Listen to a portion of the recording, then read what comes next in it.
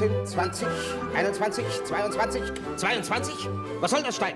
Ich habe eine Erhöhung des Orchesters auf 30 Mann angeordnet zum Saisonbeginn. Minister Schlieffen hat die Erhöhung noch nicht gegengezeichnet. Was geht das den Schlieffen an? Ich bezahle diese Leute aus meiner privaten Tasche. Hans Lieb.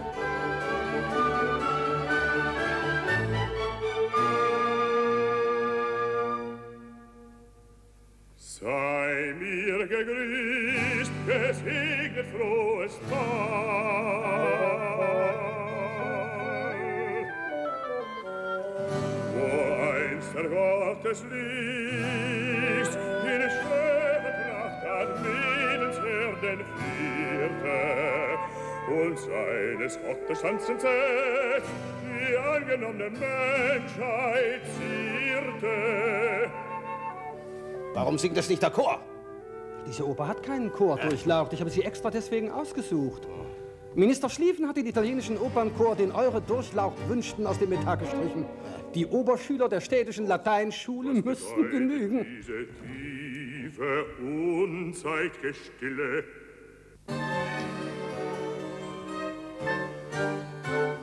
Admetens Sohn, willkommen, Herkules, dem Haus Admets.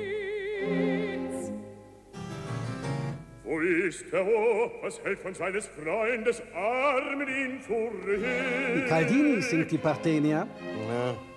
Du weißt es nicht. Vor wenigen Stunden schwebte noch sein Geist im Tor des Tartarus. Und Alceste, deine Schwester, Welchen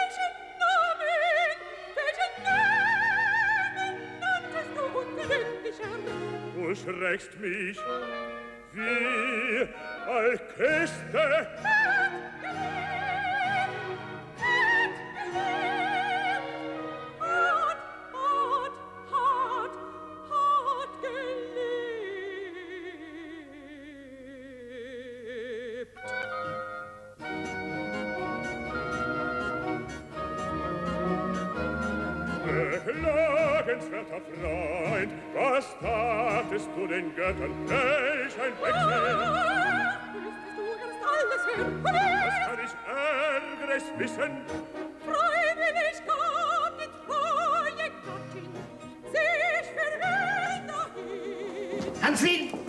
Er auf Privatpapier mit dem goldenen Aufdruck. Der feige Mann kann der so niedrig sein. Eure Durchlaucht scheinen enttäuscht von der Darbietung der Oper Alceste. Es ist das Beste, was in der letzten Saison komponiert wurde. Die Oper wäre schön, wenn sie nicht von Ihren Sängern gesungen wäre. Ich verlange erste Kräfte, Stein. Erste Kräfte. Durchlaucht Signora Caldinelli ist eine erste Kraft. Sie ist mir zu fett und zu alt. Wie die Pampanini. Der ihr Gehopse kann ich auch nicht mehr tragen. Durchlaucht junge italienische oder französische Sängerinnen und Tänzerinnen verlangen Gagen, die mir Minister Schlieffen einfach nicht genehmigt. Schliefen. Hören Sie. Der Stein heult sich mal wieder aus über Sie. Durchlaucht. Ihr Land hat sich von den sieben Kriegsjahren noch immer nicht erholt. Wir können für solche Dinge keinen Taler mehr erübrigen. Lassen Sie sich etwas einfallen. Neue Steuern oder Zölle. Ihr habt freie Hand. Euer Durchlaucht, ich bitte mir eine Ware zu nennen, die noch nicht besteuert ist. Brot, Fleisch, Salz, Tabak, Kaffee, Zucker, Wolle, Baumwolle. Alles, was der Mensch zum Leben und zum Sterben braucht, ist besteuert. Ja, ja, ja, ja, ja, ja, ja. Sie bleiben. Ihre Vorträge über Ökonomie langweilen mich schliefen.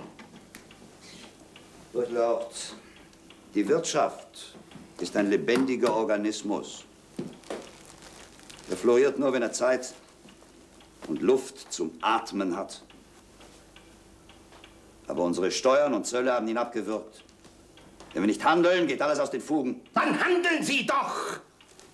Graben Sie mal Ihren Soldatenverstand hervor, Herr van Schlieffen! Ich habe Sie nicht aus Preußen geholt, um einen Federfuchs am Meer hier zu haben. Dem großen Friedrich von Preußen gehen die Soldaten nicht aus. Und das Geld auch nicht. Bei ihm hätten Sie doch lernen müssen, wie man das macht. So.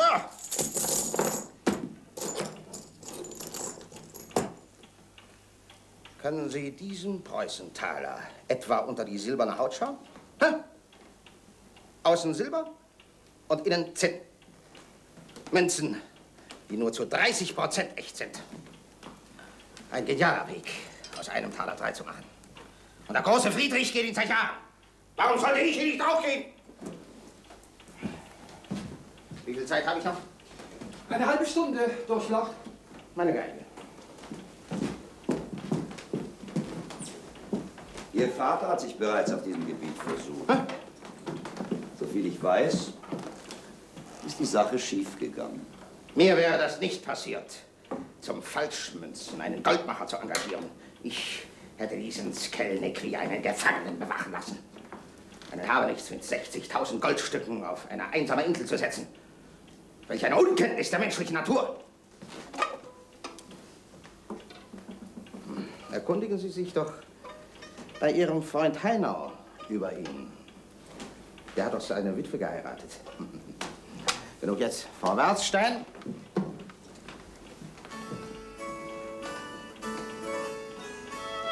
Könnte dann nicht auch der Vertrag mit der Richer genehmigt werden? Sicher? An wen schreiben Sie? Diktieren Sie ihm die Adresse der französischen Tänzerin. Ich hoffe, es ist uns noch niemand zuvorgekommen. Unmöglich, ich war der Erste, der mit ihr verhandelt hat. Ein einmaliges Gastspiel oder länger? Die ganze Wintersaison. Wie groß ist unser Ballett jetzt? Sechs Tänzerinnen und drei Tänzer durchlaufen. Erhöhen Sie auf das Doppelte. Man kann dieser Frau nicht zumuten, mit Stümpern aufzutreten. Und auch im Schauspiel will ich neue Gesichter. Ich kann die Alten nicht mehr ausstehen. Monsieur Dardin als Sith, als Cäsar, als Britannicus. Ich kann diesen näselnden Helden mit seinen ausgestopften Waden nicht mehr sehen. Stein, diesen Winter nur Tanz, Musik, Maskenfeste. Schmuggeln Sie mir ja keine Tragödie dazwischen. Die Verträge der Schauspieler laufen noch durchlaufen. Ihre Sache als Theaterdirektor. Eine gute Gelegenheit, das Theater ganz zu schließen. Nein. Sagen Sie meinem Minister, wer Demoiselle Richer ist. Demoiselle Richer, was soll ich sagen? Am französischen Hof behandelt man sie wie eine Marquise. Das sagt eigentlich alles. Der große Nouvert ist ihr Onkel, Ludwig XV. ihr Taufpate. Das nur zur Person. Sie ist nicht einfach eine vom Theater. Mich interessiert nur, was sie kostet. Nach ihrer Schilderung habe ich gute Hoffnung, dass sie zu vornehm ist, Geld anzunehmen. Der französische König schenkte ihr für eine einzige Aufführung ein Landgut. Und Sie sind sicher, dass er damit Ihre Leistung als Tänzerin honorierte? Der Brief muss express erledigt werden. Durchlauf haben die Bedingungen nicht vergessen. Demoiselle Richer besteht darauf, dass die 10.000 Taler im Voraus bezahlt werden. Der Eilkurier mit dem Geld folgt dem Brief auf dem Fuß. Ich werde das Geld noch heute einnehmen. Erlauben Eure Durchlauf die Frage, wie? Indem ich Ihrer alten Bitte nachgebe und Ihren Freund Heinau für bare 30.000 Taler zum Baron erhebe. Fertig das Dekret aus, Hans Ring. Baron von Heinau. Ich kann das Buchhaltergesicht zwar nicht ausstehen, aber ich tu's. Und denken Sie an den Preußenkönig. Der muss uns doch für Idioten halten, wenn wir nicht dasselbe tun.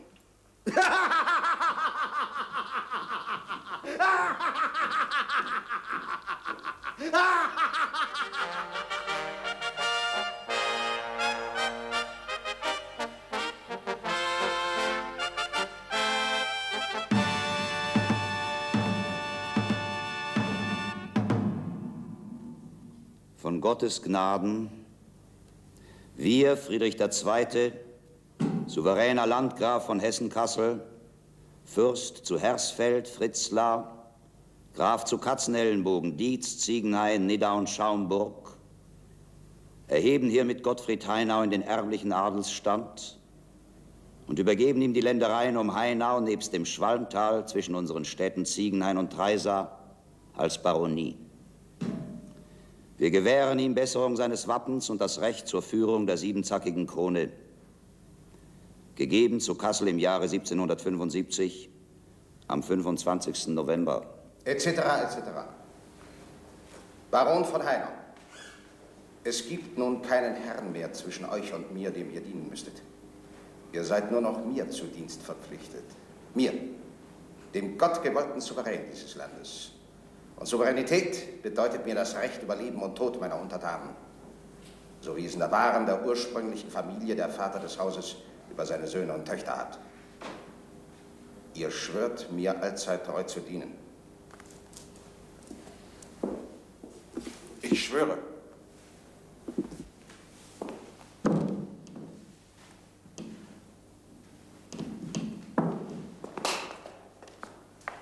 Sie brauchen noch schließen.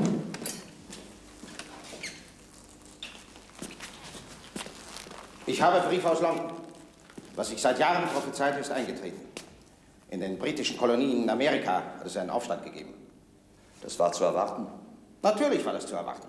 Wenn sich ein Souverän seiner Machtvollkommenheit begibt, wie der König von England, und abhängig wird von seinem Parlament und der sogenannten öffentlichen Meinung, dann ist das zu erwarten, Herr Minister. Ich werde in meinem Land schalten und walten nach meinem Ermessen. Ich erwarte Sie heute Abend zur Tafel mit Ihrer Frau, Baron von Heinau.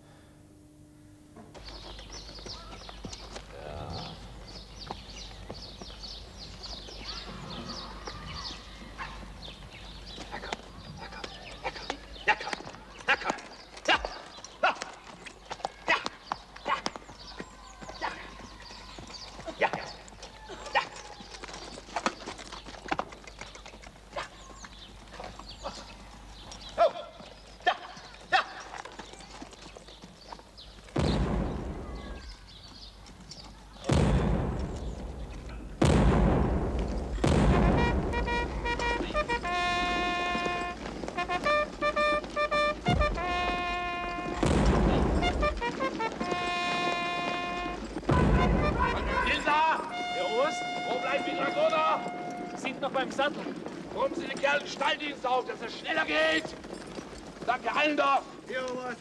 Sind die Alarmbefehle fertig? Fertig. Also wenigstens einer, der nicht schläft. Man fährt. Abgetreten, der Oberst! Danke. Grenadiere! Jäger! Einer von den Ausländern will stiften gehen. Ich denke, wir vermasseln ihm das. Wenn ich ihn nachher zurückbringe, geht er sofort durch die Gasse. Korporal Sonntag vortreten. Sie bereiten das vor. Alle Mann zum Schlagen. Ich sage alle. Und wer nicht richtig zuschlägt, geht selbst durch die Gasse. Das ist ein Offizier. Bedenken Sie das, Sonntag. Also frische Ruten ins Salzwasser.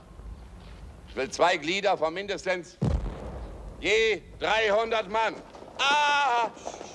Die Herren vom gelben Detachement. Na, wartet. Also, Sonntag. Der Deserteur wird mir so zugerichtet, dass er gar nicht mehr hingerichtet werden muss. Zum Fehler, Oberst! Haben die Schweißhunde die Spur? Ja, jetzt. Sonntag, lassen Sie hinter uns die Tore verrammeln. Raus!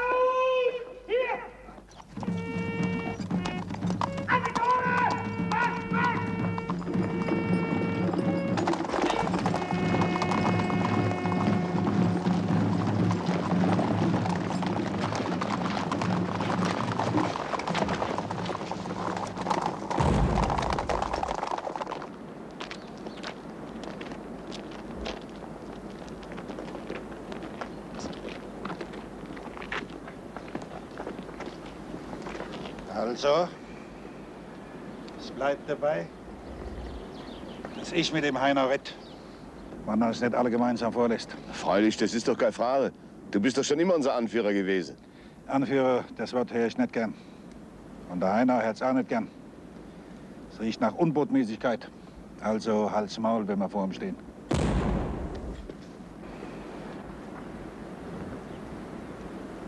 Besser, wir kehren um. Was denn jetzt umkehren vorm Tor? Wer im die Zeit desertiert und die Felder abgeerntet sind, in jeder Reiter für ein paar hundert Meter ausmachen kann, der weiß genau, was er tut. Der muss Helfer haben. Und ich wünsche ihm nur, dass die aus dem anderen Holz sind als ihr. Du weißt, wie misstrauisch die landgräfliche Gendarme sind. Die Landreiter glauben sowieso, dass wir mit ihnen Deserteuren und an der Deck stecken. Aber wem hat denn der Landreiter schon mal geholfen, die Wildschweine zu vertreiben, hä? Oder habt ihr vor lauter Schreck vergessen, warum ihr hergelaufen seid? Ach, ich gehe, lad's im Heinau. Ich rette aber auch für mich allein. Grüß Gott, Herr Klaus. Wir wollen zu eurem Vater. Jetzt nicht. Es ist wegen der Wildschweine. Wir brauchen Gewehre. Habt ihr nicht gehört? Jetzt tut es mal eure Pflicht. Ja, Herr, wenn wir zu Hause sind, da gehen wir gleich auf Pflichtwache. Ihr kommt mit mir und holt euch Pferde. Dass man ausgerechnet dem in die Hände laufen musste.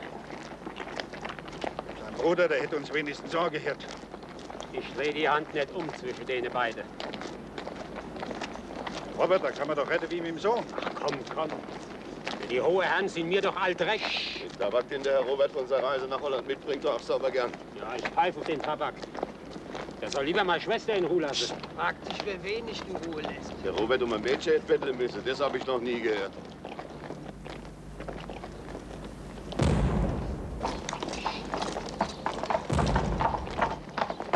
Jeder nimmt sich ein Pferd. Aufsetzen und los. Wir den Deserteur, gibt es für jeden einen Taler. Herr, wenn wir die Gewehre bekommen, Willst du Bedingungen stellen? Ihr werdet die Gewehre jetzt für den Landgrafen führen. Aufsitzen! Sonst ist der Deserteur über alle Berge. Willst du dich meinem Befehl widersetzen? Aufsitzen. Ihr kennt die Order des Landgrafen. Wer sich bei der Verfolgung eines Deserteurs drückt, macht sich genauso strafbar wie ein Helfershelfer. Vorwärts!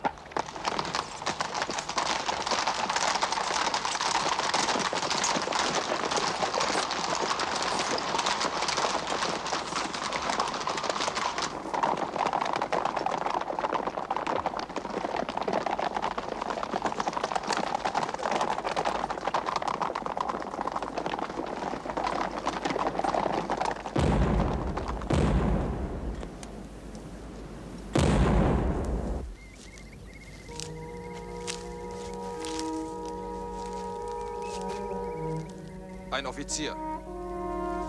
Für einen gemeinen Mann würden Sie nicht so viel Pulver verballern.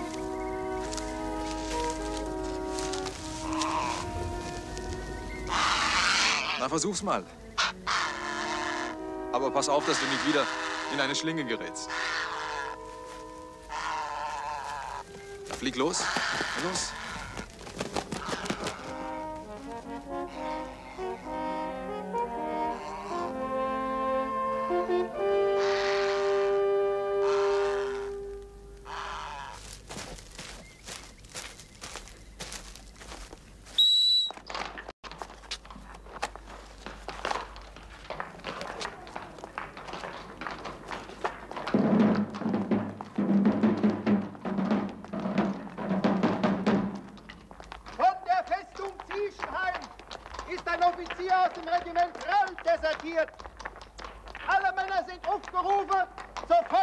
Pflichtwache zu ziehen. Die Angehörigen der Miliz melden sich unverzüglich mit ihren Pferden auf dem Appellplatz. Gezeichnet Rall, Oberst und Kommandant der Festung Zieschenheim. Habt ihr schon eine Spur? Nein, noch nicht. Worauf wartet ihr noch? Weiter! Nee, weil wir so galoppiert haben, wenn die Pferde gerade die Zunge zum Hals raushängen. Die nicht. Ich habe sie selbst für ein paar Forstjagden trainiert. Weiter!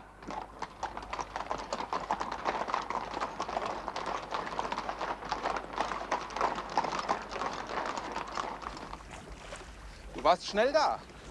Ich war schon mitten auf dem Fluss, als er mir das Zeichen gewabt. Man sollte meinen, ein Offizier hat hundert andere Möglichkeiten, um zu desertieren. Warum gerade die Festung Ziegenhain?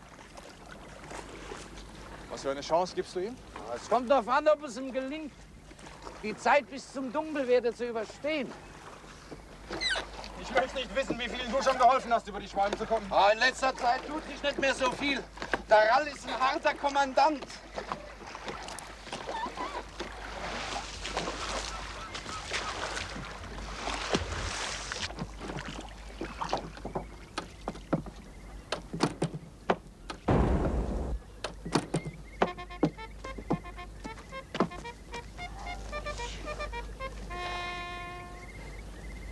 Vielleicht ist es ganz gut so, Robert, dass ihr kein Pferd dabei habt. Seid froh, ihr habt mit all dem nichts zu schaffen.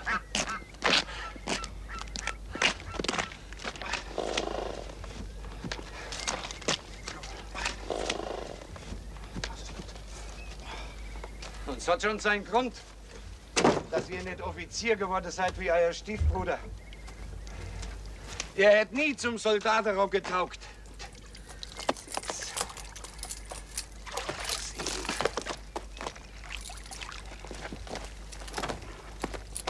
Meine Mutter sagt so was ähnliches, wenn sie unzufrieden mit mir ist.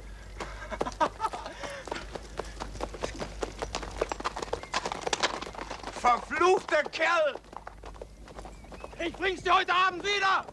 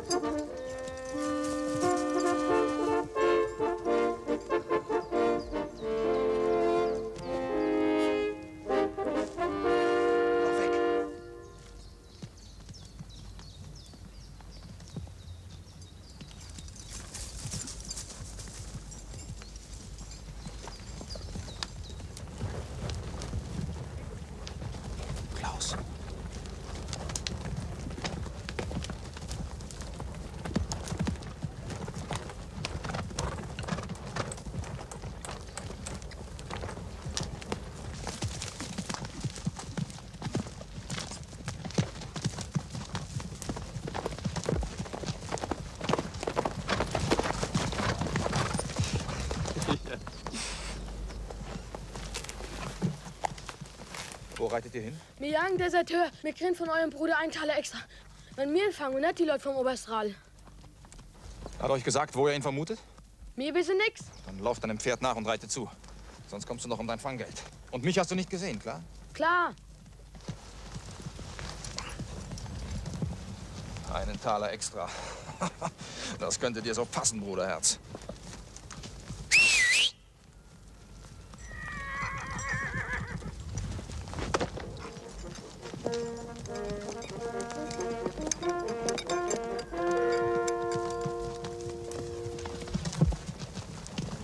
Fischer hat mir erzählt, ein Mann sei durch den Fluss gewartet.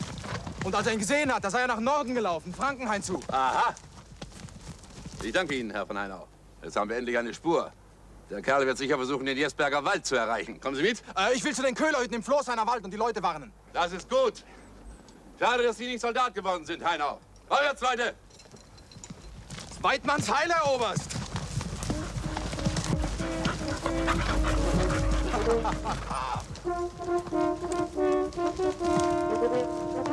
Befehl von Oberst Rall. Man hat eine Spur gefunden, Floßheim zu. Alles soll sich in der Gegend sammeln. Ihr habt gehört. Rüber nach Floßheim.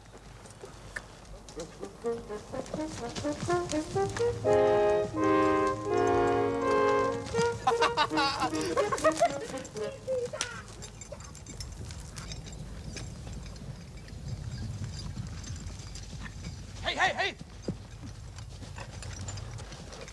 Ach so, ihr seid's. Habt ihr mich erschreckt?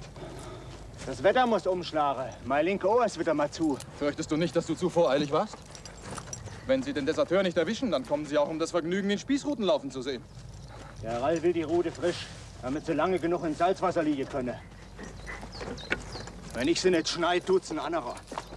Früher hat meine Frau das Geld nicht angerührt. Sie hat jedes Mal einen ganzen Tag lang nicht mehr mit mir gesprochen.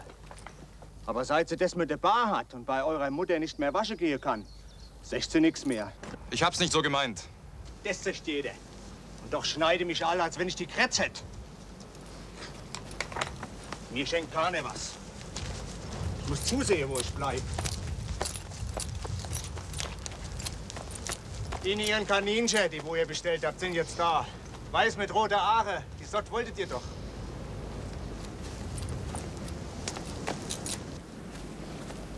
Zwei sind aus einem Wurf. Vier Wochen alt. Wer kriegt sie dann? Der Ziegenluis von der Stellmacherei. Der klar Deibel. Das möchte ich schon mal wissen, wie der das möchte. Im Frühjahr ist Saar Ziegenheit immer die kleinst. Und im Herbst ist sie die größte und fettest. Was bin ich schuldig? Nix. Für deine Frau.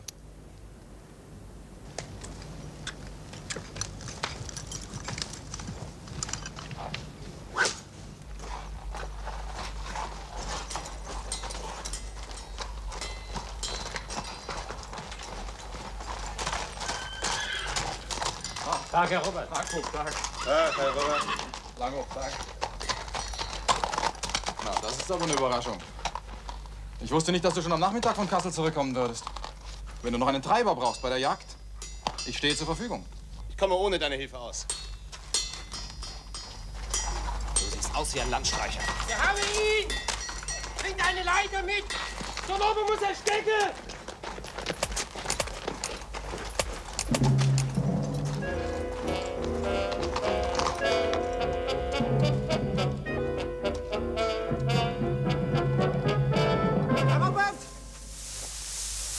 Hast es nicht vergessen.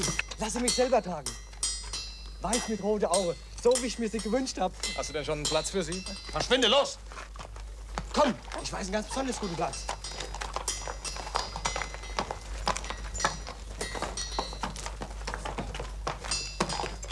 Schmeiß die Leitern runter! Werf sie einfach um! Eine Ewigkeit kann er sie ja da oben nicht halten.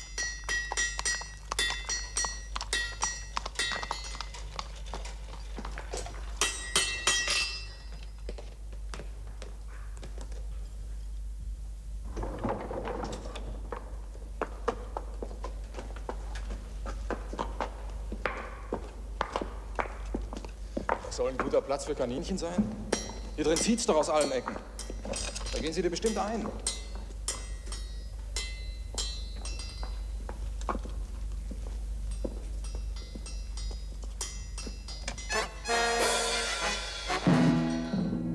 Na, wie gefällt es euch? Man muss es im Licht sehen. Das war Motzarbeit. Der alte Lack, der war ja gut für die Ewigkeit. Aber der musste runter. Wenn Silber nicht die richtige Grundierung hat, dann ist es nach einer Woche schwarz. Silber braucht roten Bolus als Grundierung. Dann kriegt's Feuer. Es freut uns all. Es hat so seine Bewandtnis mit dem Adel. Auch auf uns seine fällt so ein bisschen von dem Glanz. Jetzt schließe sogar Wette ab, ob die Heinos noch höher steigen werden. So, so.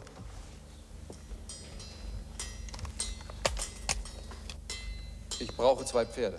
Für die Kutsch wollt ihr dann selber nach Heinau fahren? Jetzt! Meint ihr, das wäre für den Lack nicht gut? Ach was, drei Schichten, jede zwölf Stunden getrocknet, wie beim Schiff. Na, dann hol die Pferde. Hilf dem Valentin beim Einspannen!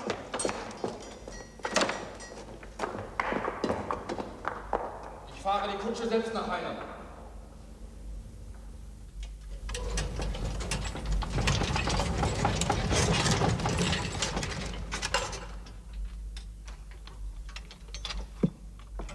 Und füttere sie nicht zu viel. Löwenzahn, Salat und Karotten, das mögen sie am liebsten. Ich habe sogar ein eigenes sie. Habe ich von meinem Vater geschenkt gekriegt. Weil ich mit meiner Falle mehr Maulwurf gefangen habe, als alle bezahlten Maulwurffänger weit und breit. Aber wird's ja auf dem Beschlägen des Zaumzeugs gut machen. Aber ich halte dir dein Gewehr. Hey! Was ist denn hier los?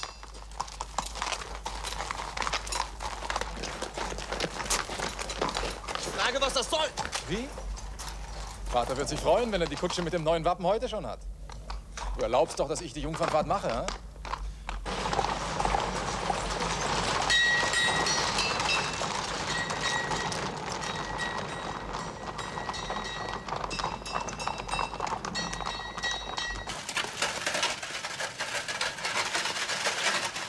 Erziehen?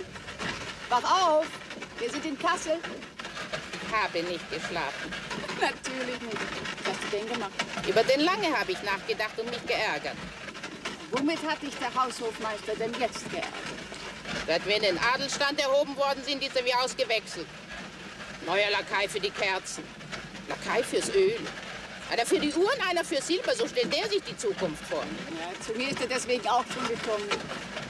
Hat er Ihnen auch gesagt, dass er für die Lakaien neue Livreen wünscht? Er hat sogar für morgen schon den Schneider bestellt.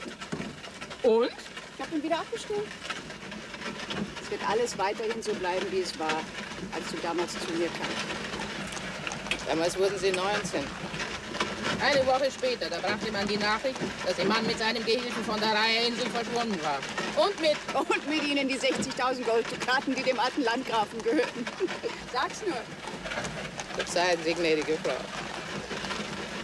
Wir sind da.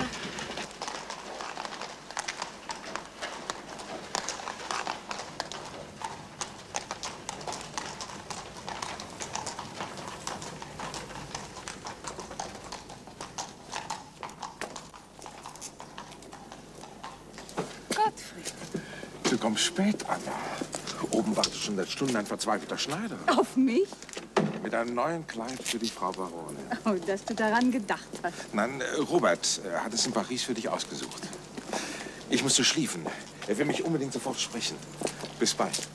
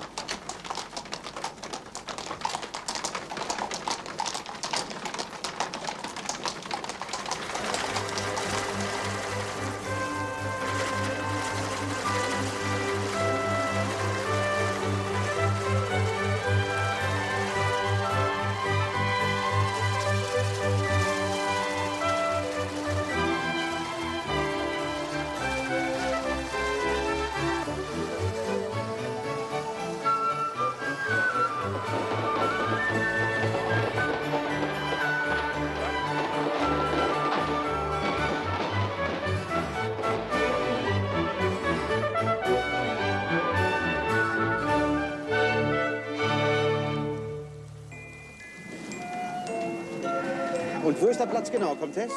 Eine kleine Insel mitten in der Schwalm. Ihr Vater Durchlaucht hat dort vor vielen Jahren eine Hütte errichten lassen. Die Fischer sagen, ein Goldmacher hätte da gewohnt.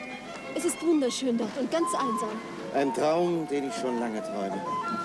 Allein sein dürfen, alles vergessen. Die Staatsgeschäfte, den täglichen Streit mit meinen Ministern. Alles. Harmonie, Fröhlichkeit, Jugend. Ach, Christine, wenn man noch einmal von vorne anfangen könnte. Besuchen Sie uns doch einmal Durchlaucht. Dann zeige ich Ihnen den Platz Ihrer Träume. Top, Christine, ich nehme Sie beim Wort. Ich komme zur Reiherjagd. Aber nur unter der Bedingung, dass die Herrin der Reiherinsel auch das Amt der Jagdherrin ausübt.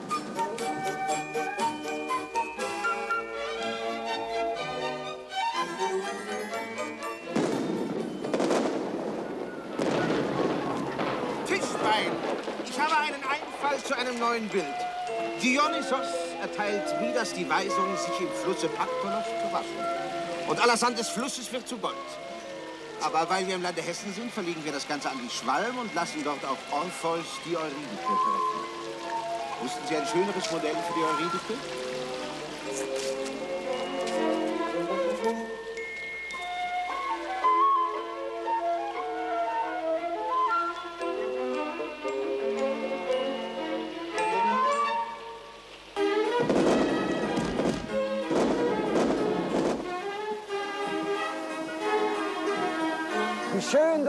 Einladung unseres durchlauchtigsten Herrn angenommen haben. Hatte wohl keine andere Wahl. In Ihrem letzten Brief machten Sie eine Andeutung wegen der Übersiedlung nach Kassel. Gibt es schon Baupläne? Steril, der Architekt. Eigentlich kommt kein anderer in Frage. Ich sehe, Sie haben keine rechte Vorstellung von der Ungeduld des Landgrafen. Nein, das Haus ist fertig. Ein Bijou in einem kleinen Park auf der südlichen Seite des Elysäischen Feldes. Komplett eingerichtet. Da fehlt nichts, was einer jungen Frau gefällt. Eine seiner Absteigen? Mein Gott, jeder in Kassel weiß, was es bedeutet, wenn meine Tochter dort einzieht. Christine ist ein unberührtes Mädchen. Und so soll sie wohnen? Die Unschuld ist ein Trumpf, der nur einmal zählt, Madame. Sie selbst haben mir gesagt, dass der Landgraf die Frauen mit Vergangenheit satt hat. Mit ihrem Raffinement.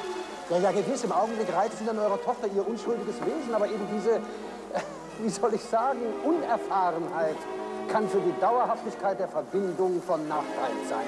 Der Landgraf ist verwöhnt. Ich danke Ihnen für alles, was Sie in den letzten Wochen für mich getan haben. Bleiben Sie nüchtern, Heinau. Schließlich war es ein Geschäft und ein gutes. Auch für mich.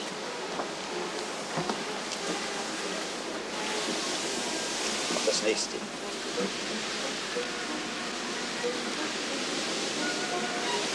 Ich hoffe, Sie sind meinem Rat gefolgt und haben in Holland ein Konto eröffnet. Natürlich. Im Bankhaus Notten in Amsterdam. Dann bringen Sie sofort alles Geld, das Sie entbehren können, dorthin. Kaufen Sie in Amsterdam allen Tabak auf, dessen Sie habhaft werden können. Seit dem Aufstand in Boston hat kein Schiff mit Tabak Amerika verlassen. Je länger die Blockade dauert, desto höher wird der Tabakpreis steigen.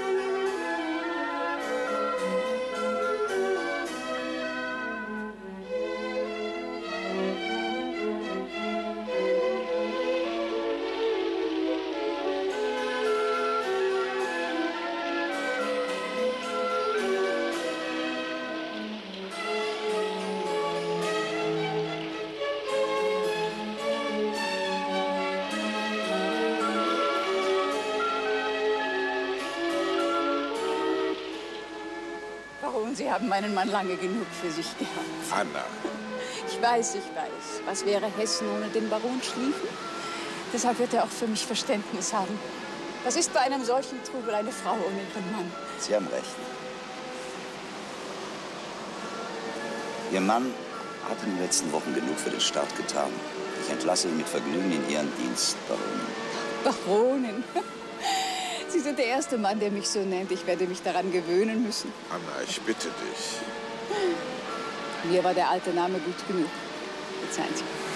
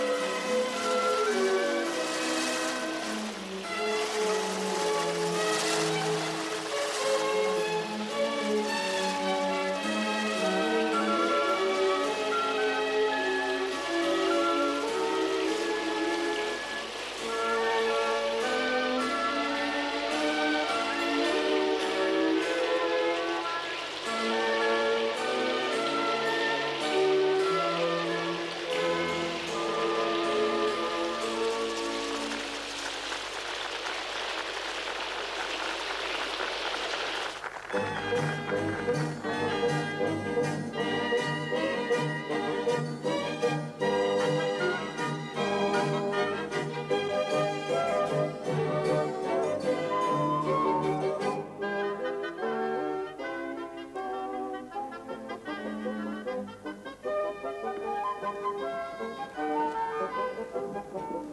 du es gehört, Hartmut? Was? Der Landgraf hat den Heinau zum Baron gemacht. Baron von Heinau. Ein Lump, ein Halsabschneider. Himmels Wille, seid still! Aber was? Das ist doch wahr. Erst hat er der Bauern das Geld für die Saat vorgeschossen. Und wenn sie schlecht Jahr gehabt habe und sein Geld nicht zurückzahlen konnte, dann hat er sie in Pacht genommen. Stück für Stück von ihrem Land musste sie an ihn verkaufen. Bis sie zum Schluss Pächter bei ihm waren. Es gibt Schlimmere. Mit dem Heiner kann man auskommen. Um Gewehre, dass man die Wildsäue abschießen könnte, gibt er uns Achbar. Aber sein Pacht will er trotzdem. Ja. Auch wenn er die Viecher die Ehren vertrampelt habe. Der Herr Baron von Heinau auf Heinau. Halt's Maul!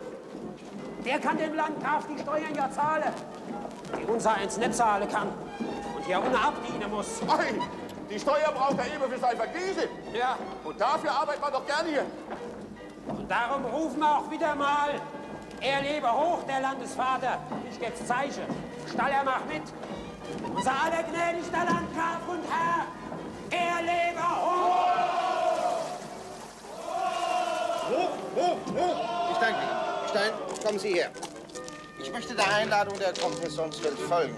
Die nächste Reihe Beize findet im Schwanental statt. Organisieren Sie das. Kommen Sie, Aureliechen. Verstehe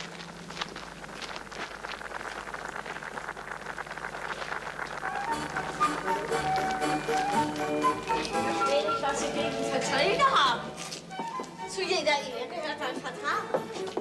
Und für mich ist das auch eine Ehe. Es könnten noch Kinder kommen. Ah, er hasst den Anblick schwangerer Frauen wie die Pest. Er hat jedes seiner Kinder ausgezeichnet versorgt. Und die dazugehörige Mutter nicht mehr angeschaut. Da kann jede Dame von Madame Pompadour lernen. Madame Pompadour? Sie hat sich gehütet, aus ihrem Boudoir eine Wochenstube zu machen. Madame Pompadour. Die hatte einige Fehlgeburten. Und wusste sie so zu verheimlichen, dass jeder im Schloss, auch der König, meinte, sie hätte nur ein wenig Kopfweh. Warum wollen Sie nicht verstehen, dass zu jeder Ehe ein Vertrag gehört? Auch zu einer Nebenehe.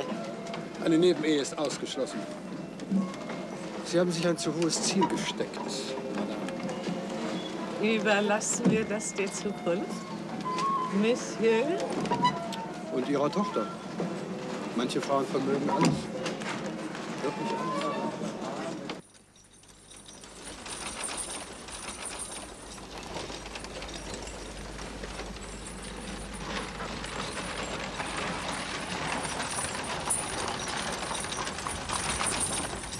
Hab ihn! Fahrt wenigstens unter die Bäume. Jeder wird die neue Kutsch erkennen. Das Wappe sticht ja blind in die Augen. Na und? Drei Dutzend Männer haben gesehen, wie ich mit dir aus der Stellmacherei herausfuhr. Auch mein Bruder Klaus. Wir hatten also euren Bruder abgejagt. Was für einen Fisch hast du in der Pfanne? Barben. Und im Kelter zwei große Forelle. Frag unseren Gast, was er lieber mag.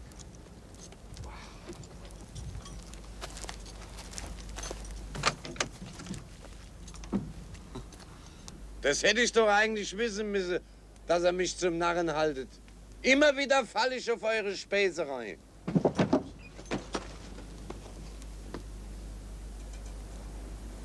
Er saß hier drin. Die Falle war so gut wie zugeschnappt. Da habe ich ihn aus der Stellmacherei herauskutschiert. Ich bin in einem Zug im Galopp gefahren und trotzdem ist er abgesprungen. Er hat auch mir nicht getraut. Hast du meinem Vater eigentlich bei der Flucht geholfen? Der hatte ja Sirmann. Die zwei brauchten keine Hilfe.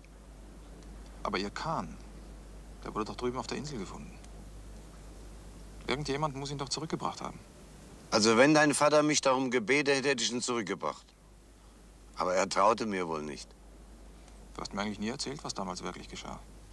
Du hast mich auch nie danach gefragt. Jetzt frage ich dich. Also? Ja. Es ist ein schlimmes Jahr gewesen. Verregneter Sommer, schlechte Ernte und im November schon eisige Kälte. Dein Vater floh in der Nacht, in der es zu schneien begann. Er muss es vorausgeahnt haben, denn er verließ die Insel, bevor der Schnee fiel, sodass nirgends eine Spur zu finden war. Am nächsten Morgen war die Rauchfahne nicht zu sehen, die sonst Tag und Nacht aus seinem Laboratorium aufgestiegen war. Und im Ofen fand man seltsame Schlacken. Hast du eigentlich je daran geglaubt, dass er Gold machen kann? Ich weiß nicht. Jedenfalls hat ein Vater ein Rezept gefunden, wie man Münzen umschmilzt. Er konnte aus einem Goldstück vier machen, ohne dass man es äußerlich oder am Gewicht gemerkt hätte. 60.000 Goldstücke sollte er für den Landgrafen umschmelzen. Aber dein Vater hat noch eine viel bessere Idee gehabt. Hat schon mit dem ganzen Geld aus dem Staub gemacht. 60.000 Goldstücke. Ein bisschen viel Gewicht für einen Mann, der flieht. Ja. Ist ja nicht allein geflohen. Wer war denn dieser Sörmann? Ja. Ja, der kam irgendwo aus dem Norden. Schweden oder Norwegen. Ist mit irgendwelcher Truppe rumgezogen, war so, so ein richtiges Soldatekind. Im Frühjahr, nach ihrer Flucht, kam die Nachricht, dass sie nicht mehr lebten. Ihr Schiff, das hat Thetis geheißen, mit dem sie nach Amerika wollten. Ja, und das ist dann im Sturm vor Neufundland gesunken. Ich kann es bis heute noch nicht verstehen, wie es dein Vater fertiggebracht hat, deine Mutter zu verlassen. Sie war hochschwanger mit dir. Ja, wahrscheinlich hat er gar nicht begriffen, was er aufgegeben hat.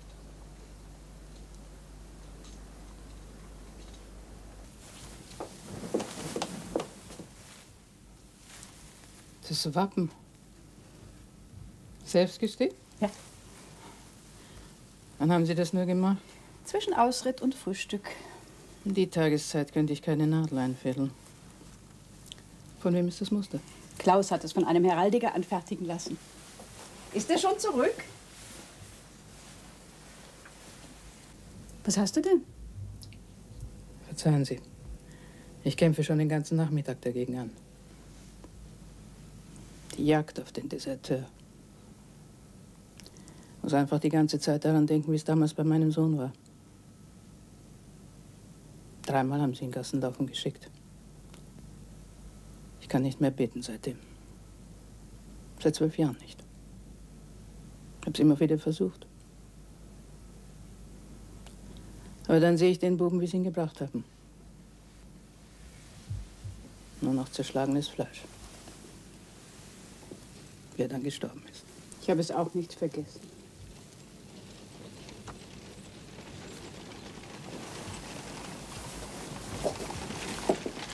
Es scheint Robert zu sein.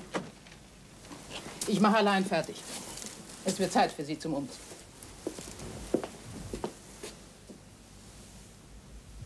Wenn der Herr Klaus zurückkommt und wenn Sie den Deserteur nicht haben, lassen Sie nicht noch einmal gehen. Bitte.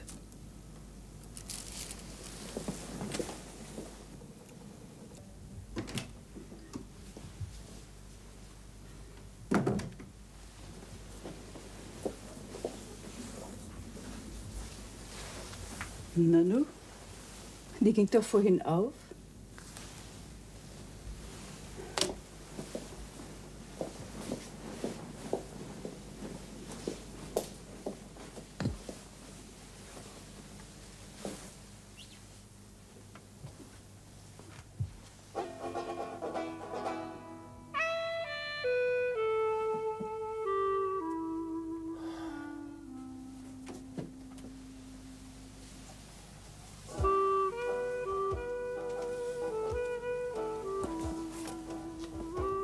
Ich hielt es nicht für ratsam, mich anzumelden.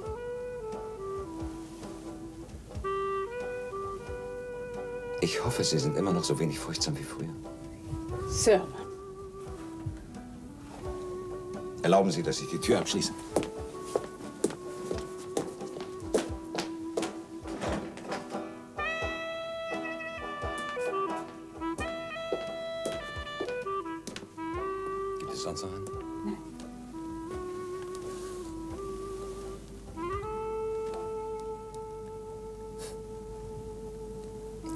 Diese Überrumpelung gerne erspart, aber mir blieb nur die Wahl zwischen Ihnen und Ihren Söhnen. Der eine setzte alles daran, mich auf die Festung zurückzubefördern. Der andere. Sie sind der Deserteur. Ja. Ich bitte euch um Hilfe. ich weiß nicht, wie viel eure Söhne von der Vergangenheit wissen. Deshalb komme ich zu euch. Sirman, man hat mir damals erzählt, dass euer Schiff im Sturm gesunken wäre. Wenn ihr nicht ums Leben gekommen seid, was ist mit Robert Skelnick? Was ist mit meinem Mann? Schließen Sie die Vorhänge.